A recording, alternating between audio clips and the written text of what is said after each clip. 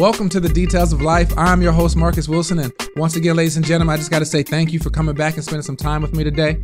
I know that you guys noticed that I didn't release an episode on Sunday. I had got you guys in the habit of every Wednesday, Sunday, but really, this was designed to be a weekly podcast. And the reason we were doing Wednesday, Sunday, because we were in quarantine. And I knew that there were going to be quite a few people that desired more content, and I had more time to do it at home. And so that's why that happened. But we're going to go back to weekly. It's just going to be on Wednesdays. Tuesday nights for subscribers. So if you aren't a subscriber yet, subscribe. You'll get a notification and get access on Tuesday night. But we're going to go back on Wednesdays. And here we are with our next guest, Notre Dame head coach Mike Brey. You know, I was really excited about bringing Coach Brey on because I'm from South Bend. Many of you know that I'm a big Notre Dame football fan. I wasn't always the biggest Notre Dame basketball fan. Since Coach Brey has gotten there, that's all changed. Since 2000, out of the, out of the 19 years, been to the tournament 17 years, three Sweet 16s, two Elite Eights, won the 2015 ACC championship, has just been getting it done. 417 wins at Notre Dame, 516 total. And he was the 2007 and 2008 Big East Coach of the Year, as well as 2011 when he got National Coach of the Year. So the guy just gets it done. You know, he has the has the resume from Final Fours to winning in high school, winning in college. One of the questions I was really excited to ask him about was how does the academic requirements at Notre Dame affect recruiting? You know, you always hear about Notre Dame and Stanford and Vanderbilt, and Northwestern, all their fans always say, well, we can't get all the guys that other schools can get because of our academic restrictions. And I was really excited about asking him that, and he gave a good answer. So I know you'll learn a little bit from that. But overall, just a great guy. Um, we covered a lot of topics, obviously, covered what's going on with the team, um, expectations and things like that, culture of the team, how he's been able to turn some things around. So, a lot to learn from one of the best coaches in the business. So, without further ado, let's go ahead and chime in with Notre Dame head coach Mike Brey.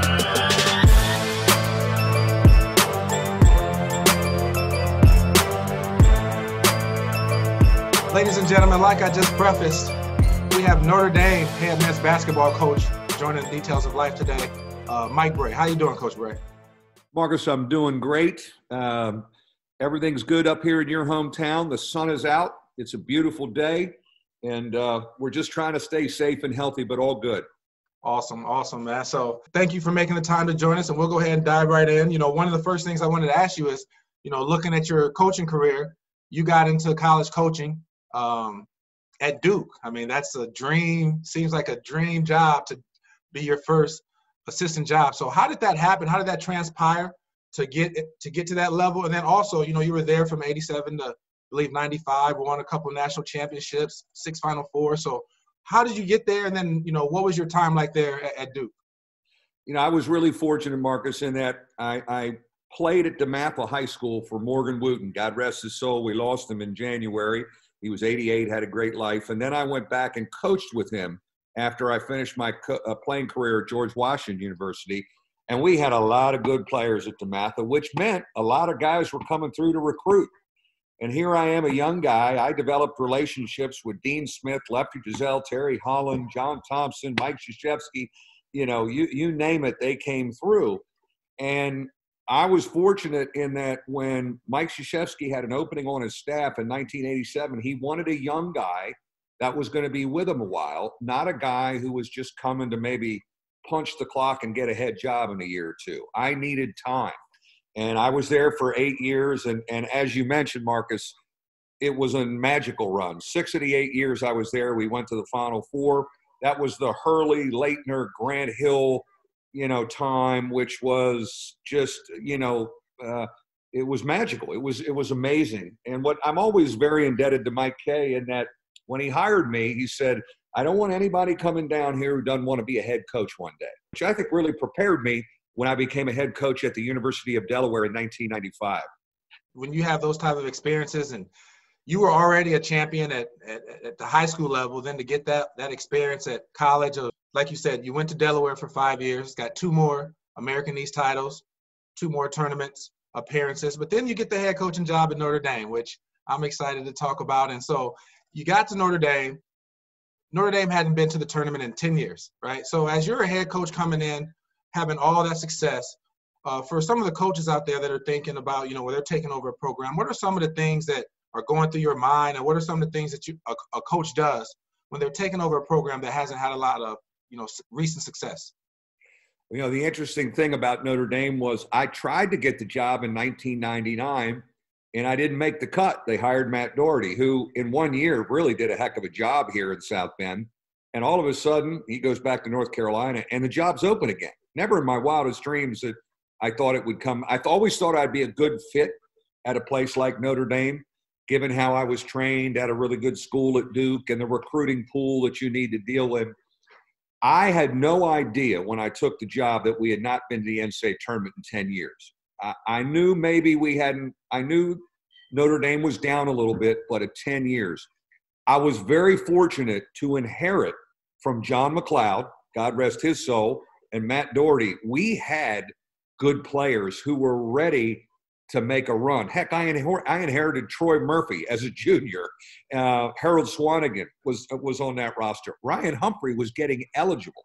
He was sitting out and getting eligible. Martin Ingelsby, Matt Carroll, David. We had an NCAA tournament team, and the timing was, and I, I felt the pressure was just don't screw this up, Mike, because these guys are older and they're going to get a tournament bid. And we ended up winning the West Division of the Big East. We got back to the tournament for the first time in 10 years and it was really special. We were in Kansas City. We beat Xavier. We lost to Ole Miss, Mississippi, in the second round. But um, you know, you, you that that those old guys, and two of them are on my coaching staff, Harold Swanagan and Ryan Humphrey. They kind of help create the culture of you know trying to get to the tournament every year and playing the right way, sharing the ball and and and playing fast. You know, we've created a a culture like that. We've I've had a great succession plan because I don't get one and dones. We have guys that are going to be here with me. So I always have juniors and seniors that are vested in the program, and boy, do they help you when, when they're leading and selling the message. It takes a lot of pressure off the coach. This past year, T.J. Gibbs, Johnny Mooney, Rex Pflueger were fabulous as captains. They they kind of helped me run the locker room when I wasn't around. So um, I, have I've loved the culture we've had established. Mean, God, this will be 21 years I'm coming up on. We were in the Big East, and now we're in the ACC, and and, and I've had a number of guys come and go, and they're all like sons to you. But um, it, it's a neat culture of a succession plan. We feel guys get better here. You know, they get better. Uh, there's a freedom to play on the offensive end. We've never wanted to overcoach so we've kind of created a culture that I'm that I'm excited about, and uh, hopefully we can maintain it because I do like our young players coming back.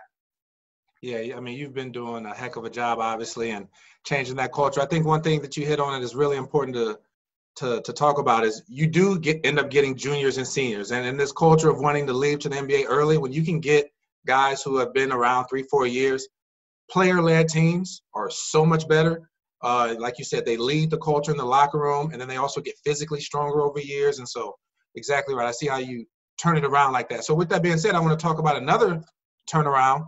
Um, you know, your first 13 years, uh, 14 years, you made the NCAA tournament. So, we're going to skip to 2014 15. I would be remiss if I didn't bring up for the people that don't know much about you. In that time, you won three uh, conference coach of the years, back to back in 07, 08, national coach of the year in 11. So we're skipping over a lot of really good stuff, but I can only have you for so long today. But for the coaches out there that have had bad seasons, one season, and they're looking to turn around, you missed, you know, I, bring the season up because in the first yes. 14 years, it was the first year that you didn't make postseason play. Then the next year, you come back, have one of the best seasons, 32 wins, first of back to back Elite Eight appearances. What transpired over that summer to make that dramatic turnaround to go from missing the tournament to the Elite Eight? Great question. And even most recently, we're kind of trying to regain momentum, you know, because um, our first year in the ACC wasn't very fun. Um, we got pushed around, kicked around, and we got eliminated from the ACC tournament so fast. It was amazing. The difference was Jerian Grant and Pat Connaughton as senior captains coming back and setting the tone. We went to Italy on a foreign tour after that really down year, and you could see Connaughton and Grant taking hold of the group to bounce back. And it was amazing how we bounced back. And ended up winning the ACC. And then if you look at us since then, that we lose Connaughton and Grant with a Bonzie Colson and a Demetrius Jackson, our local product from Marian High School, we go back to the Elite Eight. You know, and then and then and then we and then we go again, and then in these last three years we missed. You know, we Bonzie got hurt a couple years ago. We were the first team out. Um, then two years ago, we had a very similar season to 13 and 14, played young guys and got our butts kicked. This year, I was thrilled that we got some momentum back. You know, we won 20 games. We probably were an NIT team, you know, when they pulled the plug at the ACC tournament. But I really kind of like, you know, try, we're getting our momentum back. But it, it's such a great teaching point for young people when they've been put on the mat and had their butts kicked it's such a character builder. And, and I know we have a lot of great courses at Notre Dame you can take a, as a student. I don't think there's any better course than having your butt kicked one season, being put on the mat, and you learn how to come together and bounce back and handle adversity. That's life lesson stuff. And I, I would hope the guys that I've had that went through that can look back and use that as a reference point when things are tough with their job or their family or with freaking COVID, right? Or whatever, and say, you know what?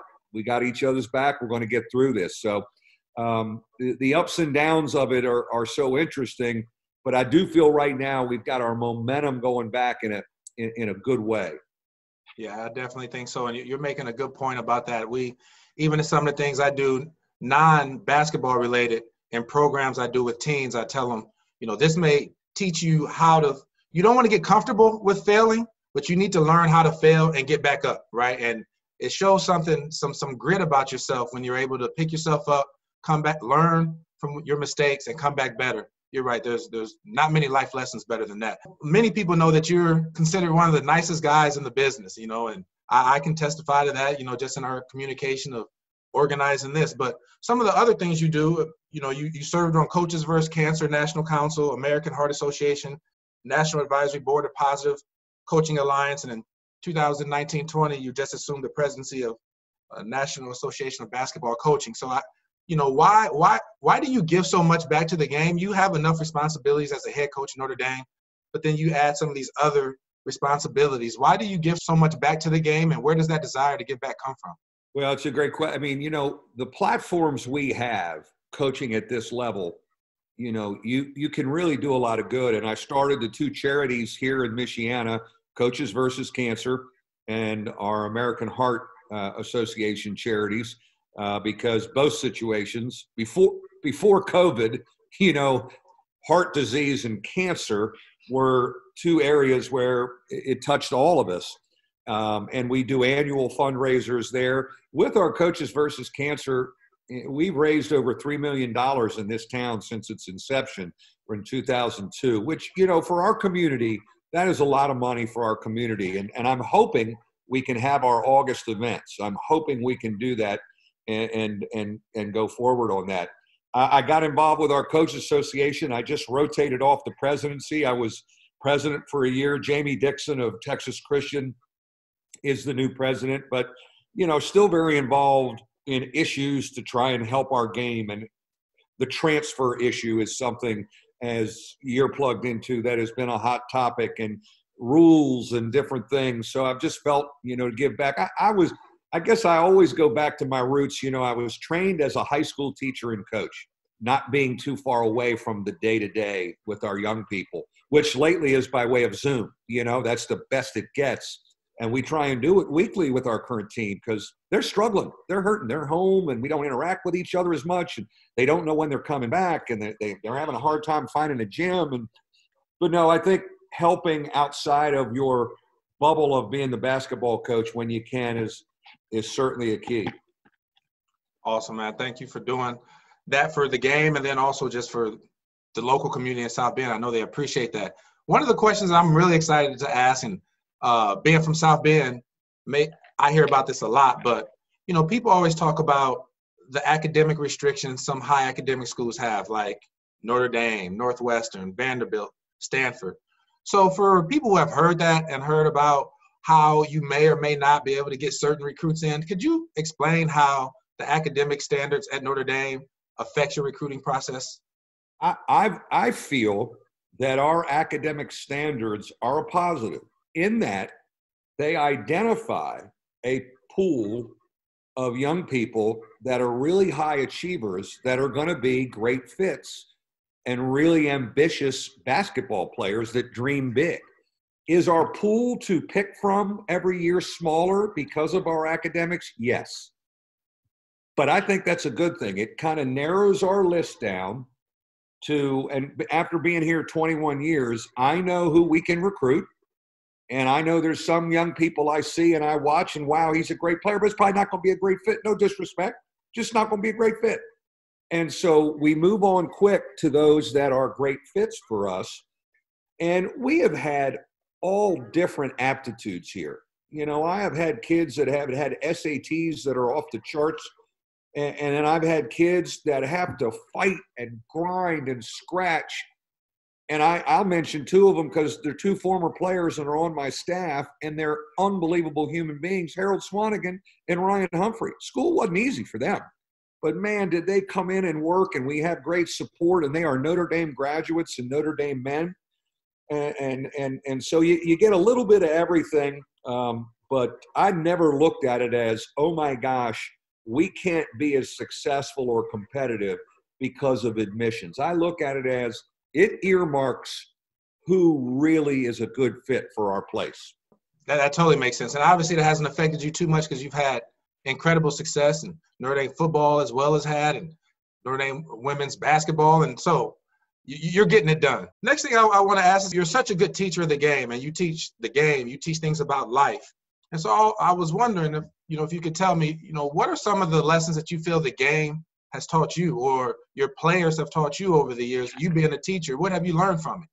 Well, you make a great point. I think you learn so much from your students especially when you have juniors and seniors every year. I learned so much from Rex Pflueger, TJ Gibbs, and Johnny Mooney as the season went. I listened to them. I wanted their feedback on how we were handling our group, X and O wise, playing zone, well, you know, what we do on the ball screen. And, and I and I love those relationships. As guys get older in our program they become the relationship with me becomes different. And they almost become player coaches sometimes. They really do with the feedback and the trust that we have with each other. So um, you know there's nothing like seeing a group of young people celebrate and smile after doing something together. And i think when you're the leader of that you cherish that those are burnt in my mind you know the smiles now just as much the tough nights when we have not done well. And I've challenged them in the locker room after a game. And they handle it like a man and look in the eye and bounce back and the real life stuff. So um, it just, you know, I'm 61, but it keeps me young doing this and being around these guys. And that's one of the things that's so frustrating with COVID that I can't be in the locker room or on the court with my guys. Like that's what I cherish. It's it energizes all teachers when you get to be around your students and you feel the juice coming off of them. I'm not get I just can't do it by way of Zoom. So I want them back quick. I hear you, man. So I'm gonna I'm gonna close up with this. Is uh one of the things I always ask when people come on is I usually try to bring on people that have had some sort of success, and so you've obviously been successful at high school, college, multiple, multiple Final Fours, NCAA appearances, Coach of the Years, all that. So, you know, are there any daily habits or routines that you feel that you do in your life that you feel contributes to your success? You know, I'm a big workout guy, staying in shape, and I've really challenged myself in COVID because I have even more time to control my diet and my exercise program to be by June 1st not that I was in bad shape, but be in the best shape maybe I've been in in the last 15 years. I think it clears your mind. My routine is even when we're back and during the season in January and I've got Duke and Virginia coming at me, get up, get a workout in, clear your mind, and and get your energy up. I I I, I can't say how important that has been to my routine. When I'm working out in the morning before I go to the office, I'm thinking through my practice plan. I'm thinking through my strategy. Nobody can come at me and talk to me. I've got some privacy to think creatively. But, you know, we pace our players. Hey, we're going to shorten practice today because we don't want them to be tired for the game. We've got a strength coach. It's every bit the responsibility of the leader to have the physical energy and be able to keep up. So I work out to get ready for a basketball season just like my guys do. So can you get on the court and hoop with your guys? No, I don't do that anymore because I, I know I'll take one step and blow my Achilles out at 61. So I, I'm big into Pilates. I'm a big swim guy. You know, I walk this neighborhood every morning, and what's great, the, the positives of COVID, and there's well, there's really none, but you can, yeah, I'm, I'm, I'm cooking at home and controlling my diet better and, and, and that's really been a key. But no, no more hooping. But I may play horse with them a little bit, maybe just a horse game. yeah, I gave up hooping as well. That that blown Achilles, that was me a couple years ago. So pretty that, much, that's a long way back. God bless you. exactly right. Well, before we close up, I do want to uh, say something just from a personal note. Is that you know, with me being from South Bend, man, it, it's first of all it's an honor to talk to you, but I want to say thank you. And what I mean by that is, when I was growing up, like we talked about, Notre Dame had a little gap in success, right? And so from 90 till 2000, those were some of my formative years. You know, that was eighth grade through college. And when I think about Notre Dame now, the level of success, the pride that I have for Notre Dame and for, for my home city, when I think about, you know, th- there was a long time it was just Notre Dame football coaching grades. But when I think the people around my age, I mean, we remember Digger Phelps, Lou Holtz, Coach McGraw, Brian Kelly, and Mike Brey. Like that, that's who it is. And what you've done for the community in terms of fundraising, in terms of bringing pride back to the basketball program, the the business side of it, all the the money that comes in for hotels and the money invested in that community. You've helped out so many people and given pride to the community. And me, me being from South Bend, just want to say thank you, man. And I, I appreciate what you've done for my community and my people. Well, I love the Bend. And as we refer to it up here, right, the Bend. I got off the airplane. I was in Florida, and they got a sign up in the airport now. Welcome to the Bend. Exactly. I took a picture of it, sent it to my son because you know my kids grew up here. They're off now and living their own lives, and um, this was where I raised my family. And I, I'm really kind of one of the neighbors in this town now. You know, I go to Martin's or I go to a restaurant. Hey, what's up, Coach? And I love that. They I, they've seen me forever, and and so really proud of this community. It's amazing, as you know, being a native, how it's changed and improved over the last 20 years. And by the way, your reputation as a player is still out there. I know about you. I hear about you. I know. I know. I know you could hoop back in the day here in Michiana. Um, but uh, when you come back to visit, please make sure you stop by. Uh, I'd love to say to hi personally at our offices. I will take you up on that because I have season tickets for uh, football anybody that knows me knows how big of a fan I am. And so I'm up there a couple times a year for Notre Dame football games. So I'm going to take you up on that, coach. You could tailgate with us, and hopefully that first home game is in September. Fingers crossed. exactly. Exactly right. So, man, thank you so much for spending the time with us today. And I really appreciate it. You know, good luck to you next year, coach. And uh, thank you. Thanks again. Marcus, you stay safe, man. Go Irish. All right. Appreciate it. Thank you, Coach Brey, for coming on and once again, good luck to you. I am going to take you up on that on that offer to come in and tailgate with you guys for Notre Dame football game. Hopefully, we'll have football in the fall with fans in the stadium. Therefore, I can come up there. But good luck to you and thanks for coming on. Moving on, next week we'll have we'll go back to the Missouri Valley Conference and bring in one of the good young coaches. He's only going to be going into a second year. Bryan Mullins was a great player for Southern was on the Loyola staff that went to the Final Four. So you notice I'm bringing some coaches in. They don't just talk about it. Like they've been to Final Fours and they they've had success. And Coach Mullins is going to do a great job at Southern. Got off to a really good start last year and is going to continue to build that program. So I think you guys should tune in. And he's a great guy, but also a good young coach. So make sure you tune in and hear what he has to say. And even after that, you know, we got Brad Brownell from Clemson coming on, Damon Stoudemire, former pro, who's now the head coach at Pacific. Quite a few more people. So again, we're just going to keep bringing the content with us going back to once a week, it'll get spread out a little bit further, but make sure you chime in on Wednesdays and you'll get great content here at the details of life. With that being said, you know, I love how these coaches are just coming in. They're not giving a whole bunch of cookie cutter answers. They're telling you what it takes. They're telling you about culture. They're telling you about how to turn the season around, some of the things they do. You all notice all these coaches are talking about staying in shape, working out, keeping their mind fresh, keeping their mind right. So make sure you take these bits of knowledge and the details they're giving you because you know what? That's right. Greatness is in the details, guys. Continue to like, subscribe, and share. Come back, spread the word, have more people join us. Let's keep growing. And I can't wait to see you guys next episode. See you next week. Peace.